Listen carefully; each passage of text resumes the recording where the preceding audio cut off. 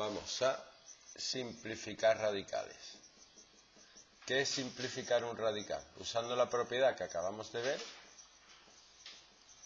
que es que la raíz enésima de a elevado a m es igual a elevado a m partido n, podemos simplificar expresiones como esta.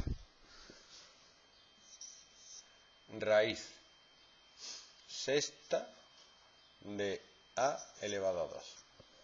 ¿Cómo? Aplicando la propiedad me queda a elevado a 2 sextos. Y simplificando esta fracción me quedaría elevado a un tercio, que es raíz cúbica de a. ¿Vale? Mi objetivo es que tú veas esto directamente, que lo veas como una fracción, dos sextos, e inmediatamente pongas aquí un tercio. No hace falta hacer esto si lo interpretas como lo que es. Esto es una fracción, Y lo puedes hacer mentalmente muy rápido. Raíz.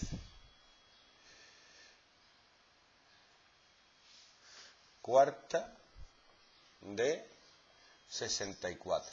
¿Cómo se simplifica esto? Lo primero que tienes que hacer es factorizar el 64, que es 2 elevado a 6. Y directamente 6 cuartos se puede simplificar como 2 tercios. Perdón, 3 medios. ¿Vale? Este 2 no hace falta ponerlo.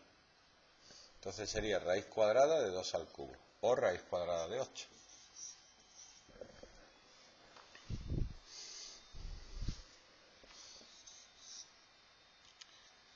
raíz quinta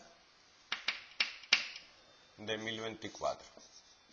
Factoriza 1024, que es 2 elevado a 10, y le queda 2 elevado a 10 partido 5, que eso, esto sería 2 al cuadrado, que es 4. ¿Vale? ¿Acabo de hacerlo o no? Sí. ¿Seguro?